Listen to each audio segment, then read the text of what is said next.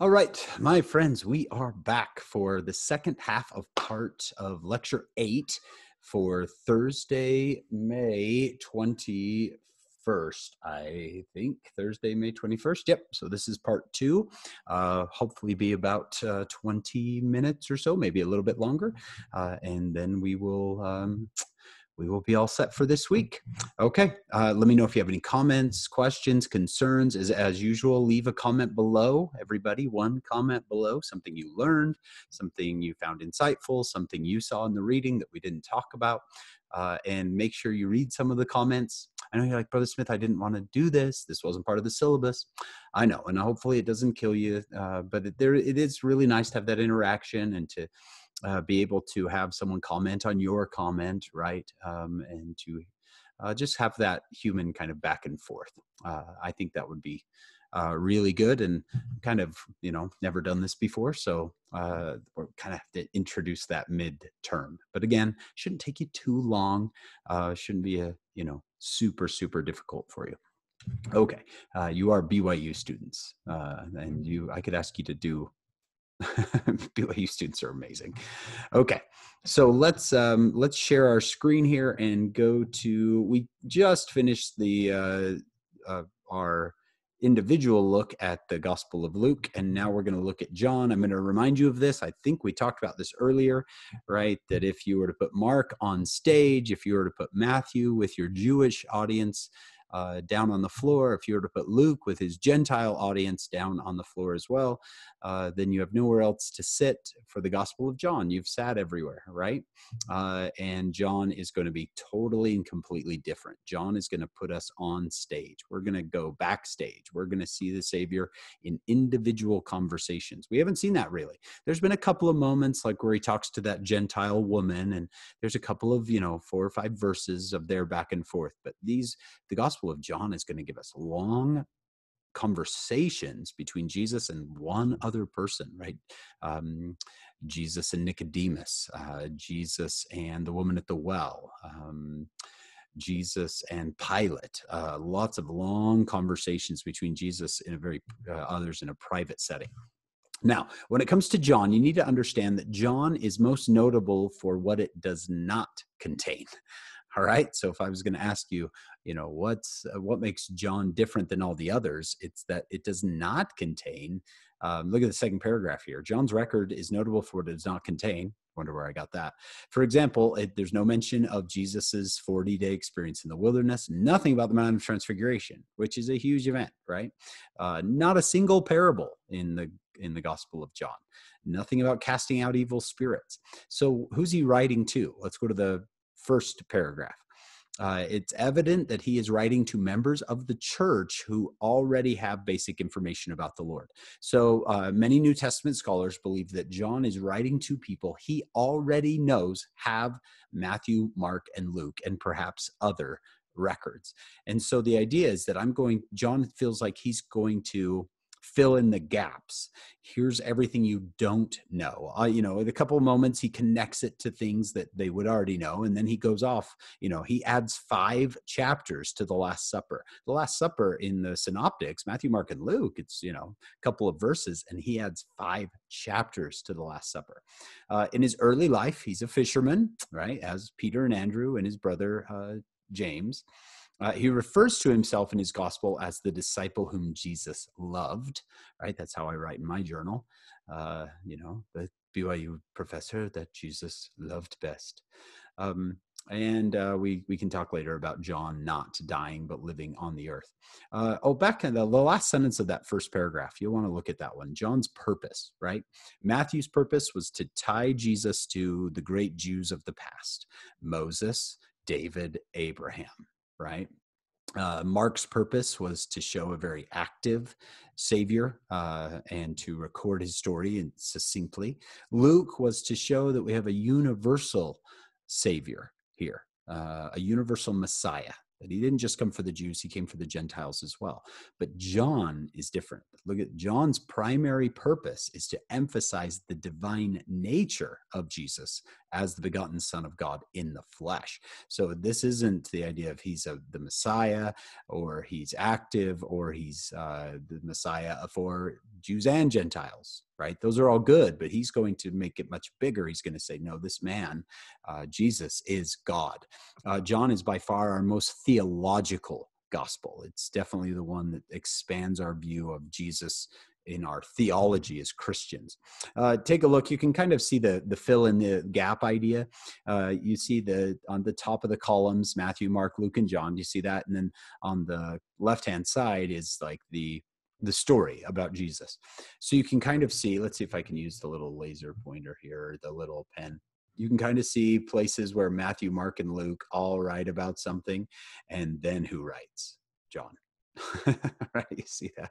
It's just John. John will include some things, right? There's some things included about John uh, that he includes from those stories, but really it's let me fill in what you don't know. Same thing over here, right? So here's Matthew, Mark, and Luke writing, right? And here is John all by himself. And here is Matthew, Mark, and Luke. And of course, John's like, oh, yeah, that did happen.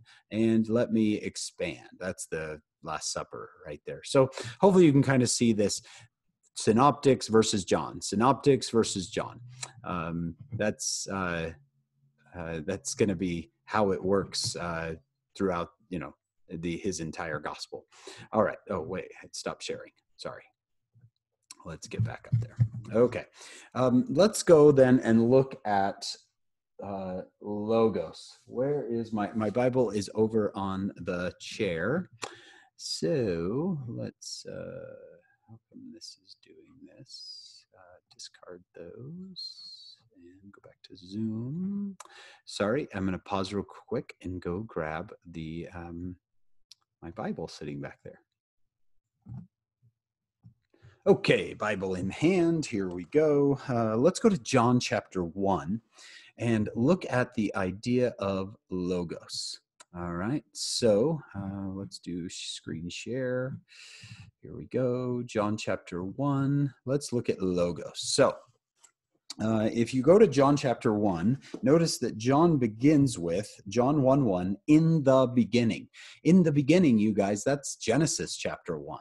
You, he's, he's definitely channeling um, Jewish scripture. And the book of Genesis is the story about God, right? In the beginning. So uh, you can see what he's doing here. Um, uh, think of Star Wars, right? They have their specific way of starting, and you know it's a Star Wars movie because of the way it begins.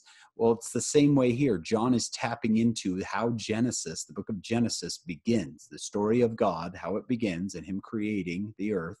And He's going to kind of uh, parallel it, right? In the beginning was the Word, and the Word was with God, and the Word was God. So um, the the the Greek word here for word, so in the beginning was the word, would read like this in Greek. In the beginning was the logos. Um, and that was translated into English as word. So, what is logos? In the beginning was the logos. Uh, you can read right off the slide here. The idea of the logos is a Greek thought. Now, how long have they had Greek influence in the Holy Land uh, before John, you know, before Jesus, right? You know that. Uh, all the way back to Alexander the Great, and then being, you know, in the middle of the Seleucid and the Ptolemaic empires, right? Um, they all speak Greek. Uh, it's been you know, hundreds of years uh, since they've become basically a Greek society, um, and it's it hasn't been very recently have the Romans come in, right? I mean, recently, as in like, when did Rome place Herod as king? Can you give me a date on that? Somewhere close? Yeah, about 40 years before Christ is born. So it's uh, still a very Greek um, civilization that they're in. So they would have been taught Greek, some Greek, Greek philosophy and, and heard of it. So it's a Greek idea that goes all the way back to 600 um, BC. Uh, and it's this idea that uh, the, the Greeks, um, you know, they're philosophers, they looked around at the universe and um, at the regular movement of the seasons and uh, they looked around at okay, uh, all these. You know, look, there's such a there's there's a lot of order here to the universe. Um, so we we've we can't ignore that. So we're gonna have to call it something, and they called it logos. They said uh, it's it's what is in everything and through everything and gives organization to us as human beings and our intellect and to the planets and the stars. There's something organizing all this. Now, we would call it God, right? But they didn't call it God, they called it the Logos. Um, so now they started to, um, it says later, the Stoics uh, defined the Logos as kind of our rational and spiritual we would call it maybe the light of Christ. Um, you know, uh, speaking of Star Wars, um, the logo sounds all like the Force, doesn't it? Um, look at this. They called the logos providence, nature, God, and the soul of the universe. It's in all things. It permeates all reality. So those of you who are Star Wars fans, you uh, this is the logos. Now, so John is. Do you see John saying, "Okay, in the beginning was the logos"? If you're a Greek, if you're a Greek, you know, thinking and you're you're a Christian of John's day, you're, you're becoming a Christian, right? We talked about how um, they they begin to divide Judaism and Christianity begin to divide after after Christ, and just takes a couple of decades and pretty soon uh, they they're very different religions right where back when Jesus was on the earth or just been resurrected. They were very close to each other. They were breaking apart. And so here you are on this side, you're becoming more of a Christian than a Jew. Um, and you know this idea of logos, right? Because you're you live in a Greek uh, society, and so you know what logos is. And here's John is trying to say, okay, you know your Christianity, you know this Jesus that we believe in, the Messiah.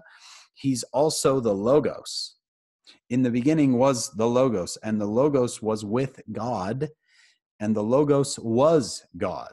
They're like, wait, Logos is a being? Right? That's not part of this Greek thought. So John's taking it and saying, yeah, your Christianity, the Messiah you believe in, he and you know this logos that you've heard about in from your you know your Greek culture, philosophy, whatever. Um, they're the same being. Um, the same was in the beginning with God. All things were made by him. See how we're paralleling Genesis again? In the beginning, all things were made, right? All things were made by him, and without him was not anything made that was made. So that's a very theological statement that Jesus isn't just the king of the Jews, as Matthew would say. He's not just a very active um, healer, as Mark would say. He's not just a, the Messiah for Jews and Gentiles, as Luke would say. What's the first three verses of John say? John says Jesus was God. Jesus was God. Sorry, I'm a little distracted. I can hear two of my boys fighting downstairs. All right. Um, let's keep going here. Um, and let's see what else John has to say. He's saying, In him was life, and the light of men. The light shines in the darkness, and the darkness comprehended it not. So we kind of get some foreshadowing here of Jesus's life in case someone's reading this for the first time. He came to give life and light, and the darkness didn't accept him. Uh, verse 6 There was man sent from God whose name was John. Now, he's not talking about himself, John the Revelator, uh, or John the Beloved, same guy. He's talking about John the Baptist, different guy. Uh, so when we think of our two Johns, think of John the Baptist, the, the one that came before Jesus, had the big following, baptized people, taught them. And then you have John the Beloved, who was a follower of John the Baptist and eventually becomes part of Christ's 12. Uh, he's going to go on to write the epistles of John, the Gospel of John, and the book of Revelation. All right. Uh, he says, This man, John, came, verse 7, to bear witness of the light. Notice that's a capital L. It's actually a name for Christ now. So he's called him the Word, the Logos, and the light. Um, and he said he was not the light himself, but he was sent to bear witness of that light, the true light. Uh, so um, w- then he goes through uh, the Pharisees talking to John the Baptist.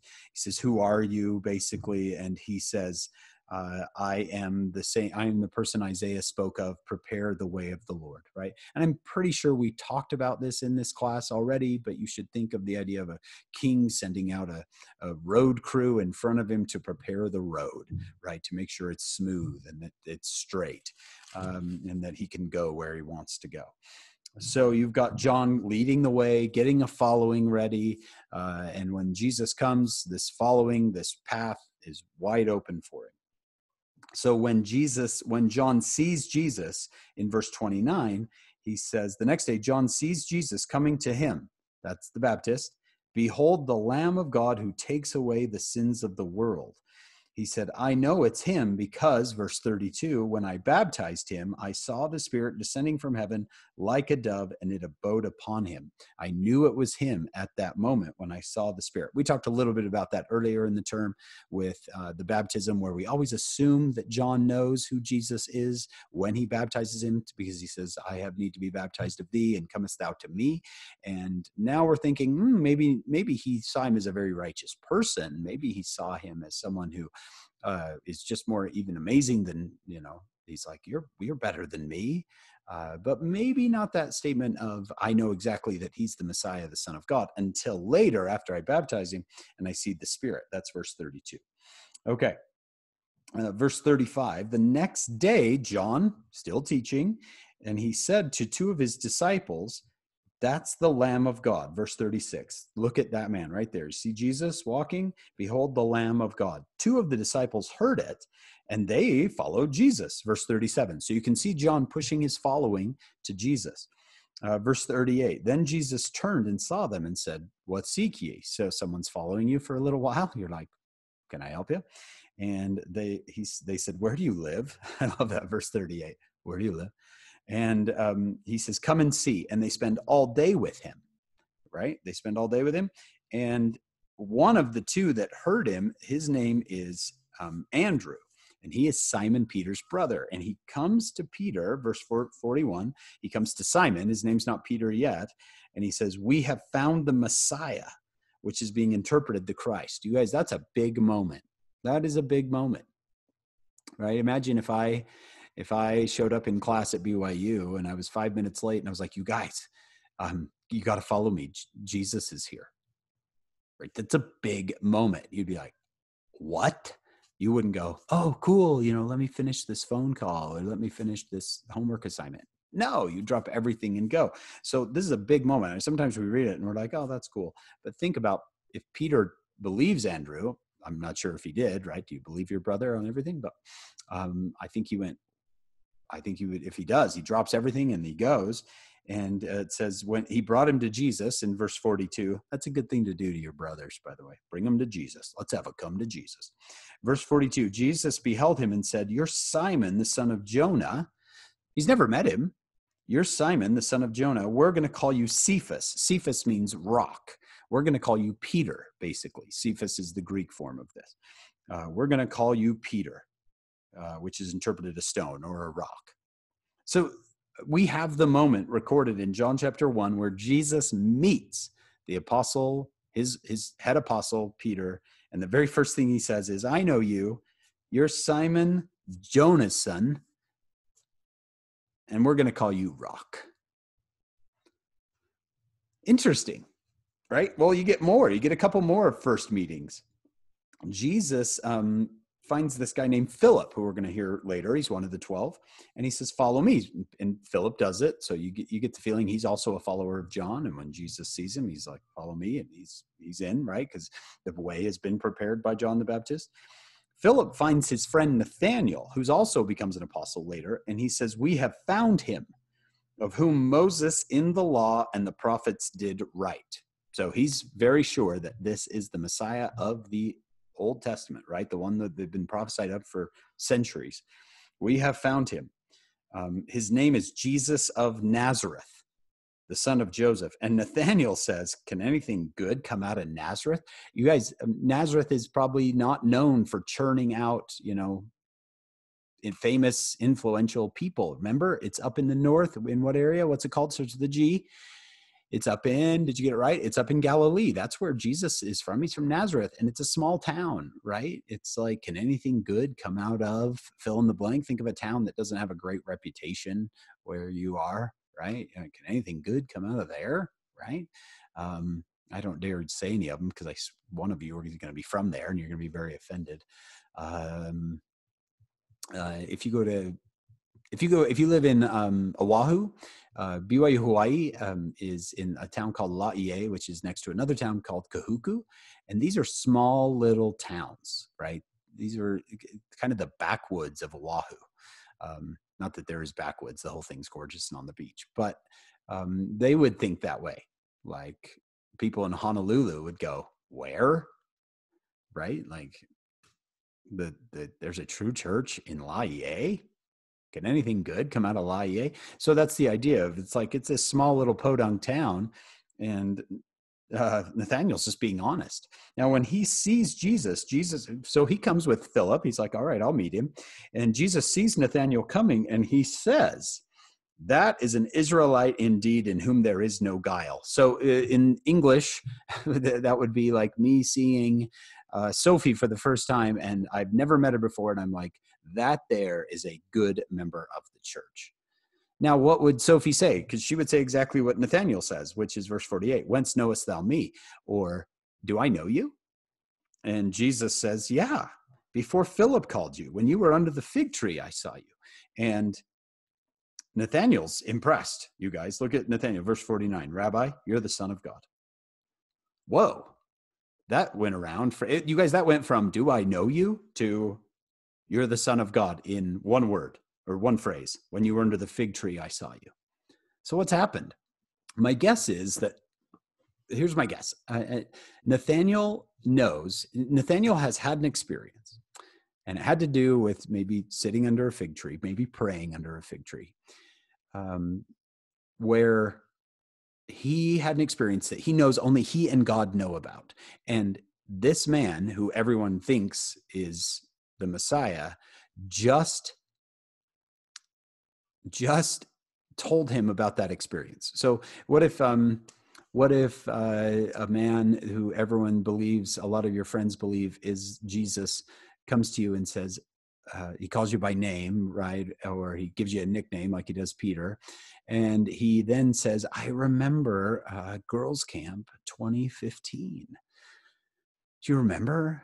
You were sitting on that picnic table by yourself and you were reading section what was it? Section 100 of the doctrine and covenants and you got that particular verse do you remember that? And you were all by yourself right? That sounds like what's happened here with nathaniel because he's like rabbi you're the son of god.